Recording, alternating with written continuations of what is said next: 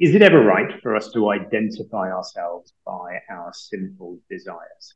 Okay? And so, um, and so some people want to say, well, I'm a same-sex attracted Christian. Uh, mm. and, and, one of the things I point out, as you say, is that we um, we, we, we don't um, we don't do that with other sinful desires by saying, uh, you know, I'm a I'm a, a what did I say? LTETM Christian likes to eat too much. Reverend Matthew Roberts. Well, um, Presbyterian pastor, what a privilege to talk to you. And I'm talking to you again because the first time we spoke was about the Greater Love uh, Declaration. We can talk about that in a minute if you like. But I owe you an apology, first of all, because we did that interview, which was great. And, and all everything you did around that was fantastic. And I really appreciate it. And I thought, okay, that's Matthew Roberts done. Fine. Uh, and then I, I understood you'd written a book pride, all about identity and self worship. Uh, and I thought, well, fair enough. You know, I've spoken to Matthew Roberts. Then I read the book and I thought, oh my goodness. Oh my goodness. Now, let me say, um, and I will let you speak in a minute, but let me say, I, I read an awful lot of books, um, Matthew, and I have to say, um, yours uh, blew me away as being quite simply the best, most succinct, the easiest to understand on the issue uh, of of um, of pride how people should think about it, the logic around it, everything else like that, in terms of its effect on society. Now, I know you're a Christian. I'm a Christian too. Uh, and as an organization, we, we come at support for marriage from the position of uh, all faiths and none and we look at the secular evidence base and that you know actually it's it's pretty as you would say in your book in fact when when marriage is uh, honored it's good for all society and absolutely right, and, and marriage between a man and a woman.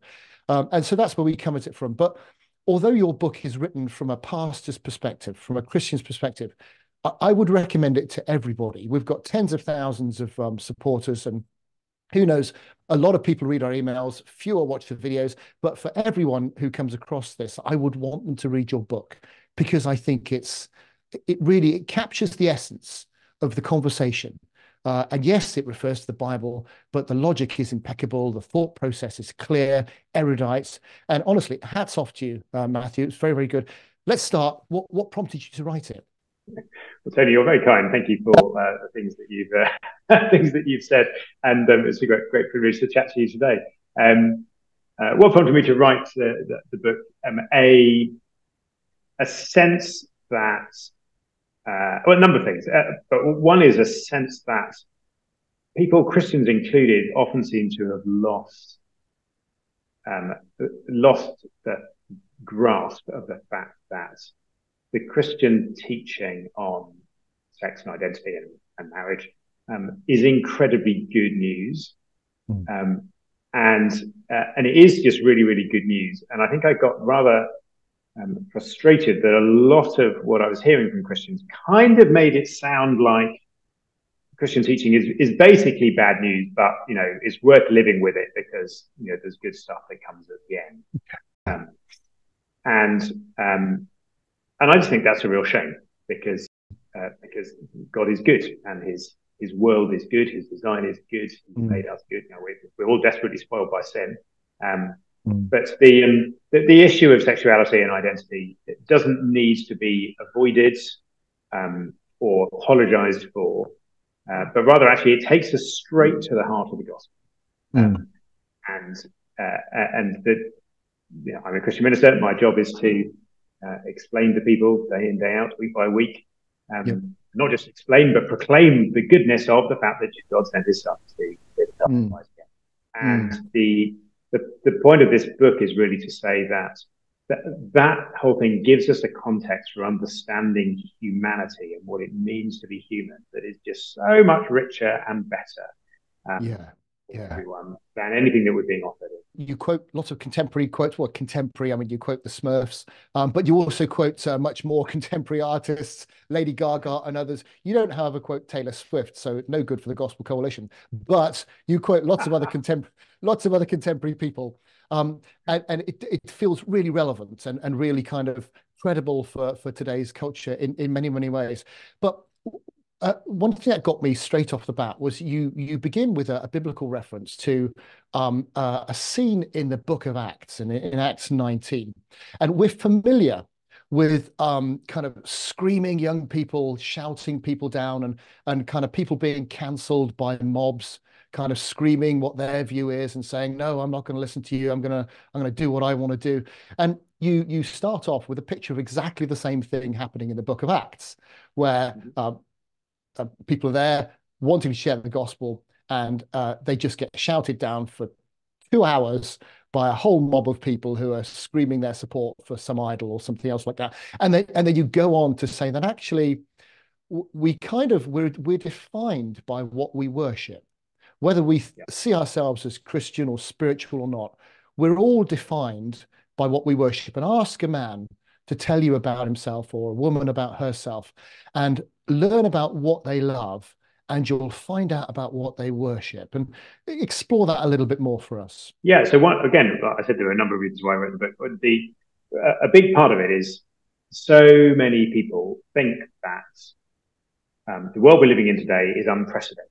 Um, that there's uh, and lots of lots of Christians think that and think we're dealing with a we're dealing with something we've never had to deal with before. This whole mm. Uh, mm. Uh, sexual revolution and LGBT movement and stuff. And um, but also plenty of people who aren't Christians think that. Just think you know we we're the first people ever to really understand the world rightly, and uh, and basically we can ignore everything that came past because we are different and better than everyone again before. Um, and um, but one of the um, one of the, the convictions uh, that I'm working with uh, in the book is that humans haven't changed fundamentally. The human problem hasn't changed, and God's answer to that problem hasn't changed.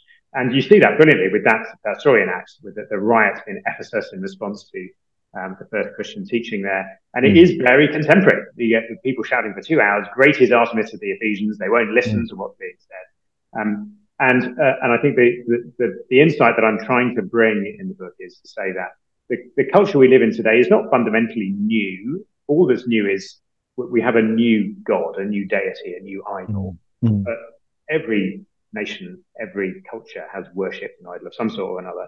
Um, yeah. And the idol that we worship is the self. We have this uh, understanding of the self and the importance of the freedom of the self and mm. the, mm. uh, the, fulfillment of the self, which we treat in a way that's really exactly analogous to how ancient pagans dealt with thought of their their gods, and indeed modern people of all other religions think of mm. their gods. And, the, mm. and, the, and the, whole obsession with identity, which we have right now, um, really just springs out of that. People identify themselves by their gods. The Ephesians identify themselves by Artemis. Well, if we worship ourselves, we'll identify ourselves by what we find in ourselves. So we have this whole thing of mm. labeling ourselves by the desires of our hearts as if these are just the most important thing. And they're not. And the point of the book is what we really are defined by is the God we should worship. You talk about um, you talk about the idolatry of freedom, and that's a really interesting one because a lot of people, well, you know, a lot of people who who will claim to be cultural Christians, a lot of people who claim to be evangelical Christians um, will uh, kind of bang the table and say freedom. That's you know fundamental rights. Everything comes from freedom. And you interestingly say, hold on a minute, take us down that road for a while. Yes. So isn't isn't that an irony that we we are uh, we, because we live in the wake of the Enlightenment, we're, we're a culture in the in the modern West um, which which is obsessed with our freedom. Right? We're, we're not we're not under control of, of a god anymore. Um, you know, no one tells us what to do. We all we all we're all free to be what we want to be, do what we want to be. Um, and the observation that I'm making in the book is that actually we treat the concept of freedom in very much the same way as uh, the ancient Greeks treated their gods, mm. or the Romans treated their gods, or indeed the way that modern people treat mm. their gods. Mm. Um, and indeed, there's a it's a parody of how we should treat the one true God. We're called to worship Him. Um, mm. So when people worship other gods, then they, they, it's a kind of parody of that. And and I think that that's a really important thing for understanding the culture that we live in. Uh, is that we we treat freedom or autonomy or liberty um, or the uh, um, which is the same thing as what I was describing as the self earlier on, really, the, the freedom of the self. We treat it as a, a, a, a thing that must, must be honored, must be worshipped, must not be disrespected, um, must be served. And so that, that's why if you suggest that people perhaps shouldn't simply live in the way that they want to, you, are not treated as disagreeing with them on an issue. You're treated mm. as having insulted something sacred. Yeah. Um, it's why uh, in a number of Western countries, there's, there's including our own, there's been this, this, sort of massive reordering of the law around the concept of individual autonomy. Mm. As that, that is the thing that must be recognized and honored and served. Um, mm. So we, we, treat freedom as a deity.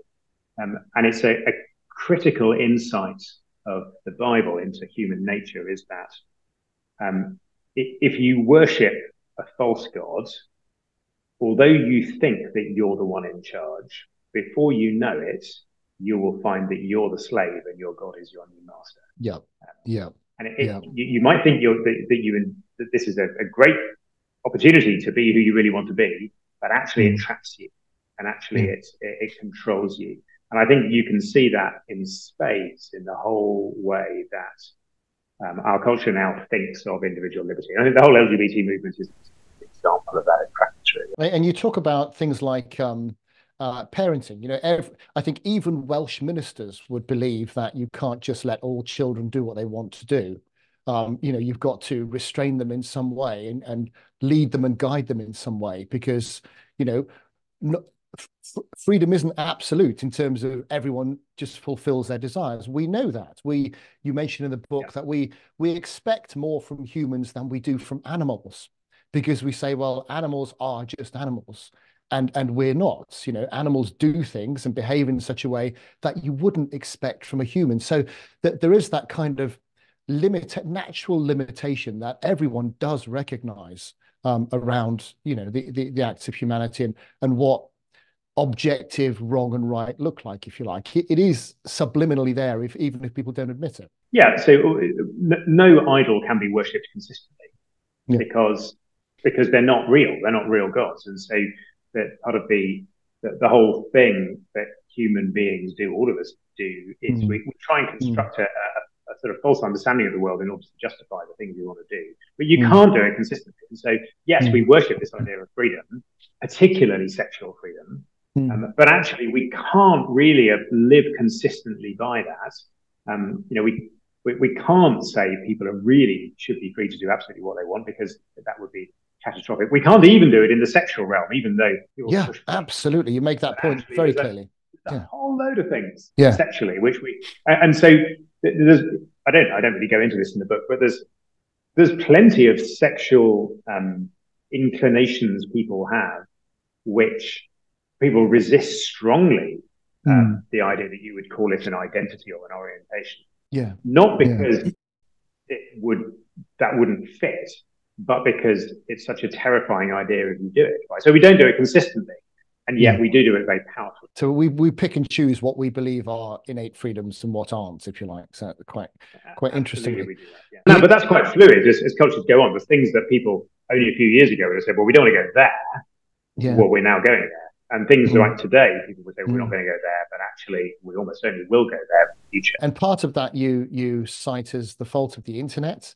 Um, you know, the internet it, it is. There's no point in ignoring it or trying to avoid it. It is the whole discussion. There's you know mentioned in the book around what age kids should should have access to mobile phones and that sort of stuff is is coming to the fore because we recognise that as as you do mention in the book, um, you can you can have no restraint on the internet. There there are no social mores to follow because nobody's real. So you can watch and be and do whatever you want uh, without any kind of social consequences because nobody knows. Yes. So I think I think I cite it really as part of discussing um, uh, human nature and particularly mm. the, the, the, Christian understanding of original sin. In our mm. deep down, at the deepest levels of our hearts, there's something wrong with us, and mm. uh, and we and we want to do evil and uh, that's a vital part of understanding humanity. And lots of people resist mm. that idea and, and don't mm. want to go there. And uh, mm. in, in, some ways, secularism as a phenomenon is really uh, one big reaction against that Christian doctrine. Um, but uh, I mean, I, I, talk about the internet because it's just a demonstration that it's true. Now, what mm. happens? What do humans mm. do when you remove social constraints from their behavior? And the answer is they do abominable things. And yep. you know that's just yep. the, the, the, internet couldn't be a clearer demonstration of that. Really. You touch the kind of um, the the third rail and you grab it with both hands. The the idea that um the the hardware versus, versus software issue you know and you say that actually our, our sexuality isn't what we are or who we are it's what we do. Uh, and then you compare that with sin isn't what we do it's who we are. Uh, and just unpack those because that's really really fundamental not only to what's going on in the world. You quote douglas murray saying that well you know because we we we've we've judged or it, there's been this assumption that sexuality is innate therefore you're you're born that way etc and you're saying well hold on hold on. Uh, there's more to it than that. Your sexuality isn't doesn't define you as a person. It's something you do.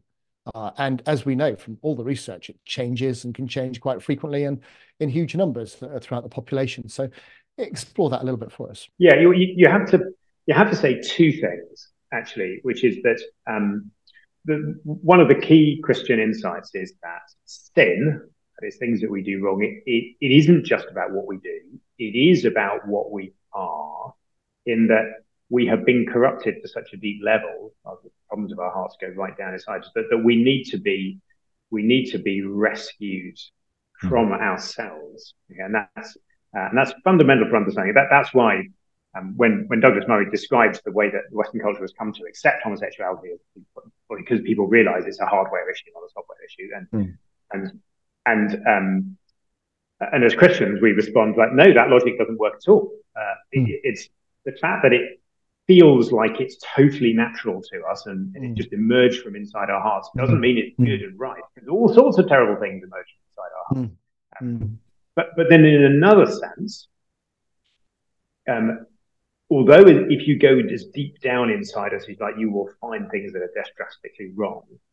Um, that doesn't mean that God made us to be like that. It doesn't mean that this is God's design. Mm. It doesn't mm. mean that he, and and actually, what although we are simple all the way down, that is a spoiling and a corruption of what we should be, what we're made to be, and gloriously, um, the whole of the Christian gospel is that God sent his son to deliver us from all that and mm. to bring mm. us back to what we should be. And so, in that sense, there's something even more fundamental about us, which is mm.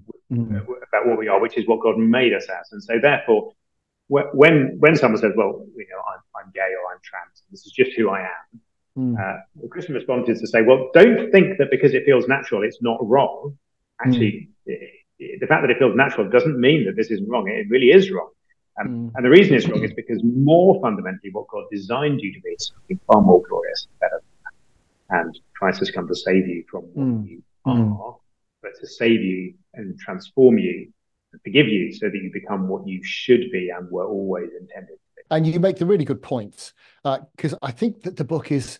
I, I would recommend it to pastors just wholeheartedly because the way the way you take people through the thought process of of you know thinking about these things logically and spiritually is is very very useful. Um, and you you refer to you come up with several other acronyms um, you know uh, representing people who eat too much uh, people who are prone to pride. And you know you say well actually lgbt it's it's another acronym representing you know whether or not you've got lots of people like that or with those kind of temptations in your church you've certainly got lots of people with other temptations in the church sitting in front of you and we're all have sinned and fall short of the glory of god is is the point you're making there. But then you you you look at the issue of the the big word is um, concupiscence. Um, the, the the the shorter word would be desire. And and your point is quite profound. You analyze it quite um, in a, in a detailed manner that it, it's not just the action that is that is the issue to be dealt with it's the desire as well. And I, I, don't know is is there anything you can tell us about that without just yeah i want people to go and buy the book and not just listen to this. So uh, how would you kind of summarize your approach there? Is it ever right for us to identify ourselves by our sinful desires? Okay? and so um, and so some people want to say well i'm a same-sex attracted christian. Uh, Mm. And, and, one of the things I point out, as you say, is that we um we we, we don't um we don't do that with other simple desires by saying, uh, you know, I'm a am a uh, what did I say? LTETM Christian likes to eat too much. I, I, I identify as one of those. A friend of mine recently kind of pulled me up. We were talking about this, and he's uh, we were talking over dinner, and he pointed at how much food I had on my plate and said, "You know, are you sure you don't have an issue here?" And it was a fair point, actually, is that we are all naturally prone to seriously to desire things that are wrong, and mm. that's one of the things that, that Christ came to save us from. Um, and so we shouldn't identify ourselves by those things. Now, the, the point about this word concupiscence is just a, it's a historical, theological Latin term for the yep. desire to sin. Um, but the, the, the, issue there is, and it's a very important historical theological debate, um, is um, it, is it wrong to desire to do wrong? Uh, do we need to repent before God, not just of the wrong things we've done, but the wrong things we wanted to do? Um, and the um, the Protestant answer to that, ever since the Reformation, has always been, yeah, it really is wrong to want to do wrong. In mm. fact, that's the, that's the heart of what sin is, is that is mm. desiring to do wrong. And you can kind of see that because if you do something, do something that's wrong, but you didn't intend to, or you didn't want to, then it's not really wrong. You know, if I if we're walking on the street and I trip over, um, mm. and as I trip over and I flail my arms around, I I slap you in the face okay, then it's not very nice for you, but you won't hold it against me because I didn't want to do it. Hmm. Um, mm. uh, whereas if I do something that looks identical, but I intended to slap you in the face, then mm. then clearly that's wrong. But sin lies in the desire. It's about my heart mm. being wrong. Um, and so what what the Lord Jesus calls us to do uh, is to repent, and that means to to come to Him and to confess not just that we've done wrong, but that we wanted to do wrong mm. described by the prophet Joel as tearing our hearts um, and saying, it's not just I've done wrong stuff. What I am is wrong. And I, and I need, I need, need to ask for your mercy uh, and cry to the Lord Jesus to clean, cleanse us by his blood. That, that's what the gospel is really all about. Mm. Uh, hmm. rather than it just being, yeah, I want to do these wrong things, but that doesn't really matter very much um, because I haven't done them. So that's okay. So I can sort of pat myself on the back. My goodness. Uh, so the, the, reason it's important on, on this issue is that um, it means that uh, it's become quite common in some circles for, for some Christians to say, yes, I'm a queer Christian or I'm a gay Christian. Or, mm. um, and actually, that, that really that really misunderstands the whole of the way the gospel works. We don't mm. identify mm. ourselves by things that are offensive to God. Right? We mm. there's loads of things in us that are offensive to God, but rather what we should say is, I'm a Christian man. I've been saved by God's grace. Mm. Um, yes, there's still loads of simple desires in me, and I have to repent of them all mm. the time. You go as far as to say you can you can say I'm a gay Christian as much as you can say I'm a Muslim Christian. You know, it it, yeah, well, it misunderstands you know where you're coming from really. Yes, it's because I think the, the word gay is is one that that the the way we use it, mm. it, it grows out of a religious worldview which sees yeah. the self yeah, being enormously important uh, yeah. the self as being a sort of deity. And therefore, what I feel in myself really defines who I am, like. I said earlier. And so, um, and of course, that is very similar to what, why do people call themselves Muslims? Because they, they think that Allah is enormously important, and therefore what yep. he thinks defines who they are. And but if you become a Christian, you no longer think that Allah defines you, and if you become a Christian, you should no longer think that yourself, and particularly the desires of yourself, define you. It doesn't. So, um, so I think it's entirely appropriate for someone to say, well, well I, I used to describe myself as gay, but i have yeah. become a Christian now. Yeah. And yeah. so, yeah, I still have all sorts of simple desires. Yeah. It's similar to they were then, but but now I, that, that's not who I am. Yeah, and somebody who who may well be struggling with a whole range of desires. Of course, yeah, and yeah, as absolutely do, and as the Christ yeah. gives us His Holy Spirit to, yeah. to, help us to overcome and put to death. And and you, I think you deal uh, again in a in a very fresh way with the idea of, uh, and it's it's more of a uh, less of a secular thing, more of a Christian thing, but the idea of being created in the image of God. And and I, I, I like the way you kind of posited. Well, look, that when man and woman were created, they were created uh, as the image of God. So that's what you are. It's not something you try and reflect or something you try and do. It's what you are. And you related that to to the the second commandment. You know, do uh, and I've never really discovered that before or thought about it so much. How you then what that means about not creating an image of God in return. Uh, quite fascinating theological concepts to to really think about. I chewed on that for a good while, and it, shame we haven't got more time to talk about that. But um, that that was quite interesting. And again, uh, another reason why I would encourage uh, Christians, pastors, just to just to sit and, and ponder on the kind of thought process that you've that you've gone through there. Um, you mentioned that your your church gave you uh, time off to to look at it. I think that's that's great. Um, I can imagine other denominations saying, "Can we borrow you for a while because we could do with you?" but what else? Oh, I don't know about that. They're probably pleased to be rid of me. Yeah, well, yeah, not the Baptists, but that's another conversation. What um, what what what what what else are you going to do um, in terms of? do you have any other plans for any other books? um, I certainly got those things I'd like to write about. Although I'm, I'm a pastor of the church, and that's a pretty busy job. So um, mm. uh, finding time to write is, uh, is a little bit challenging. Um, I, I, hope to um, I hope to finish a book at some point in the next few years. Uh, uh, looking at the importance of generations to humanity, it's sort of the flip side, really, of this right. this book. In, yeah. Um, yeah. Uh, in this book, I'm trying to expose a false understanding of who we are. Mm. It's key to the image of God that we're intended to be people who reproduce and relate mm. to one another through from one generation to another. We're yeah, the whole point yeah. of being male and female is so that we marry and yeah, procreate. Yeah. And therefore our relationship with our parents, well that's the it's the first commandment of the second table of the law is our relation to our mm. parents. Mm. Um, and the way in which we're supposed to bring up our children is hugely significant in the Bible. So um, mm. I'm interested in, in, in, that. So I'm, working on that. that that's music to my ears, Matthew, because um, as you touched on those points in the book, I kept thinking, I wish there was a chapter on this because that that's a really interesting take, and I'd like to hear more about it.